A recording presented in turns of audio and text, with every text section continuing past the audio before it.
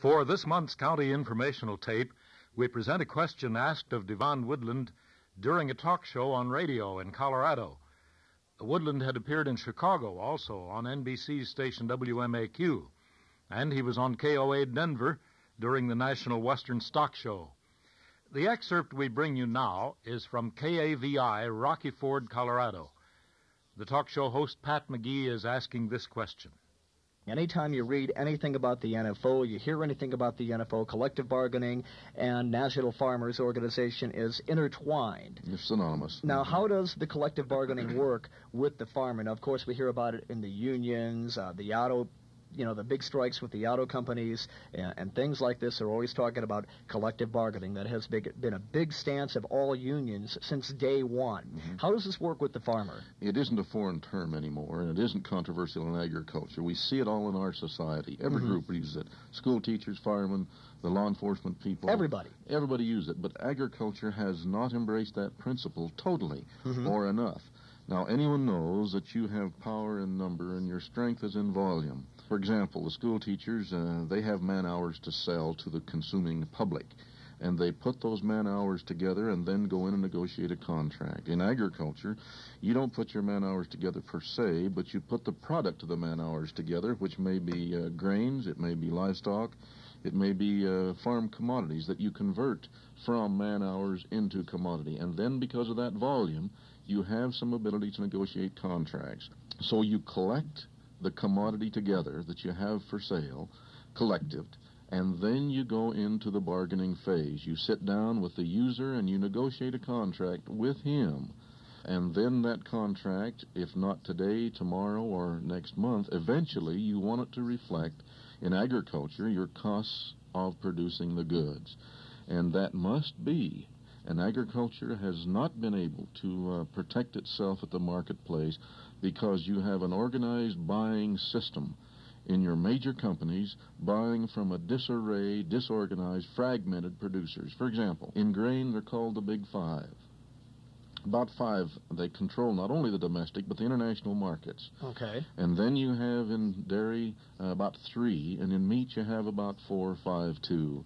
And so these people have a, a buying structure that they operate off from, and uh, agriculture, farmers, producers, they must organize themselves so that they have some ability to protect their economic interests with these procurement people. Devon Woodland appearing on the talk show called Party Line on KAVI Rocky Ford, Colorado. Now let's talk to Tom Schweers, operator of one of the best known livestock collection points in the NFO, the one at Ireland, Indiana. How's it going, Tom? It's been going very well. Over a number of years, we continue to show improvement. We get better packer acceptance on a regular basis, better farmer acceptance. We are becoming very well known in our area. Why this better acceptance now?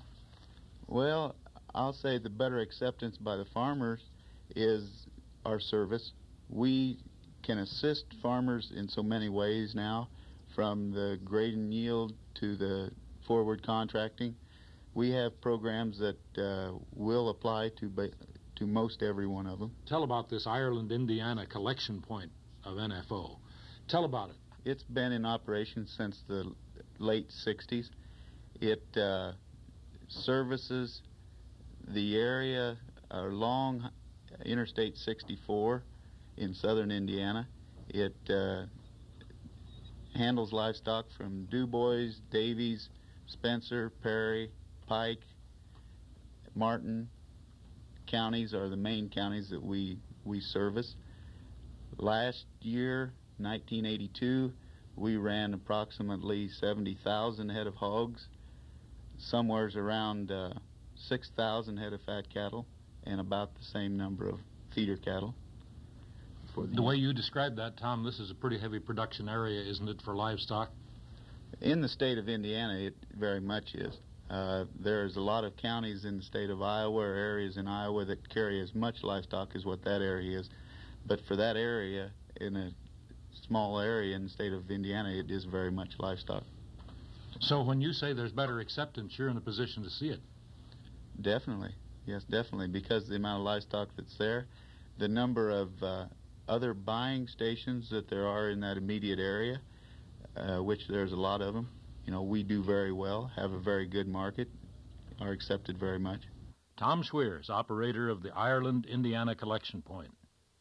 We're going to talk about the NFO's National Reserve Grain Block and how it's going. Ray Jurgensen, Director of Operations for the Grain Department of National Farmers, is here to review the progress to date. Ray, I know that there are many grain growers who look on this block as an opportunity and they like it. What's the objective of it?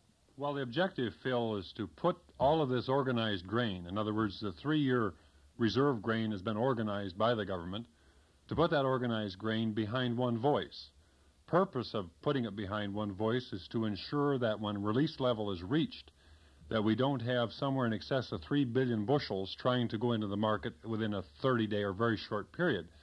Our goal is to pre-negotiate contracts for orderly flow into the market to prevent market collapse at time of release. How's it going?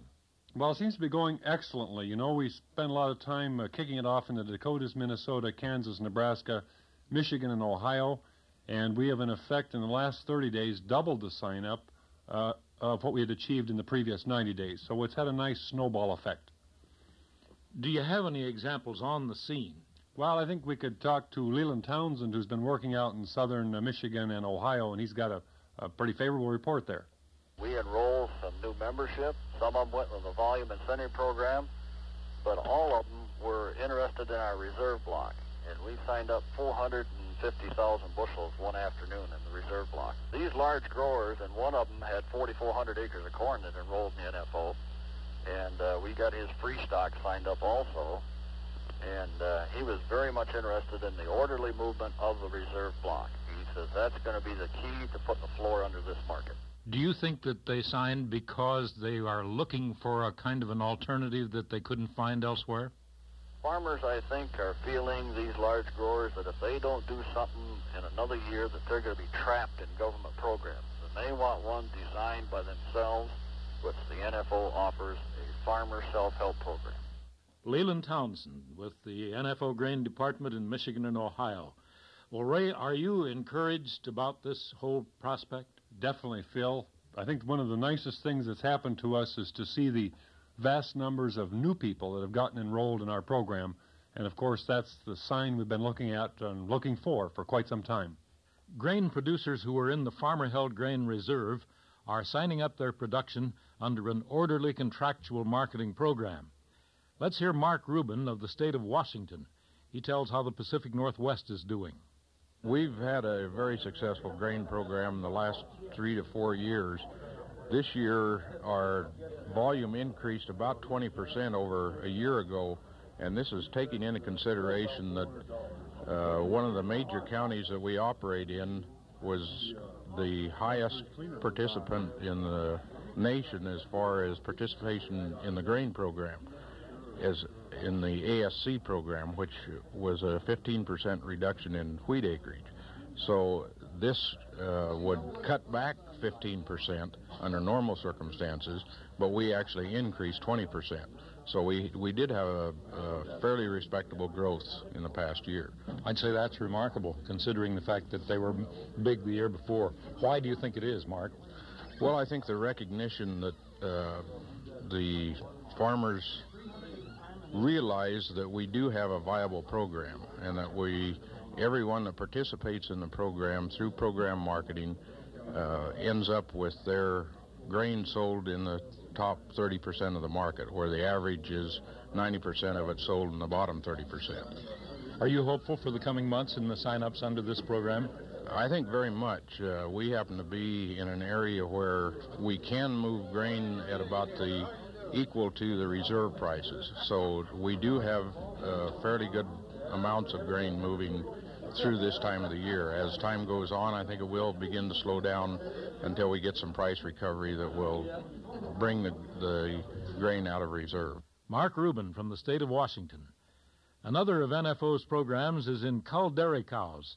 This is not only a satisfactory bargaining program for members, it's also a constructive step in reducing overall milk production. We hear Bill Jones, new NFO board member from Michigan. We've made a lot of a lot of gains in cull cows. The collection point at Cass City, we've taken it from two years ago they were only running about 350 head of cattle, and uh, at the end of December for 82, we run 2,000 through there. So it is a gain.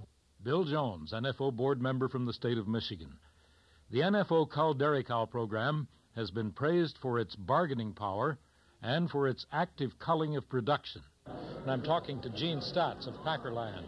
Gene Stotts at one time complimented national farmers on being a supplier on a scale of 10, maybe NFO rated a 9, as being a dependable supplier.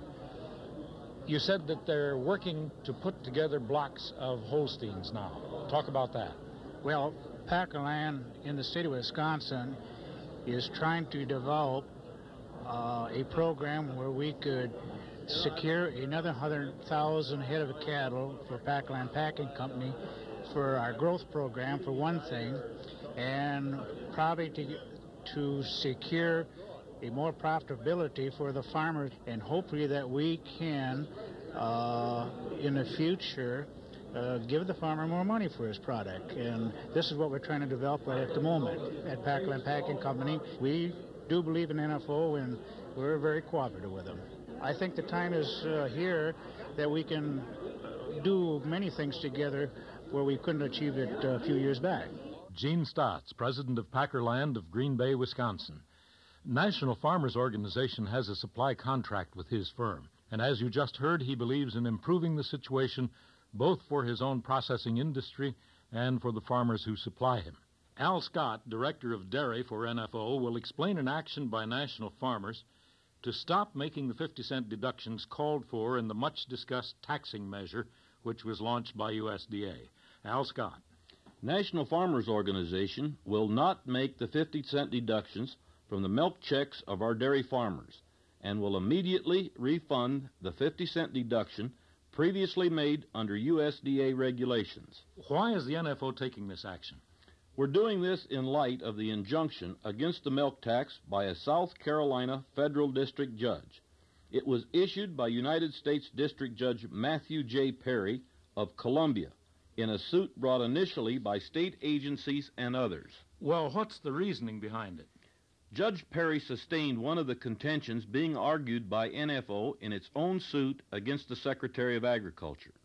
It says the Secretary's rule to go ahead with the tax is null and void because he violated the Administrative Procedure Act. Why has the NFO been fighting the milk tax? We can quote Judge Perry himself when he issued the injunction. He said he was gravely concerned that harm will follow from a collection of the 50 cent deduction if the Secretary is allowed to proceed, and that farmers will suffer irreparable injury. The only thing we could add is that we, NFO recognizes that when a dairy farmer is faced with reduced income, such as this tax will bring about, he will respond by trying to increase production and that's exactly the opposite of the stated purpose of this tax. Al Scott, Director of Dairy for NFO. You have heard the informational tape service to the county organizations of National Farmers Organization, compiled and edited by Don Mack, head of the broadcast division. I'm Phil Allen, and that for this month is something to think about.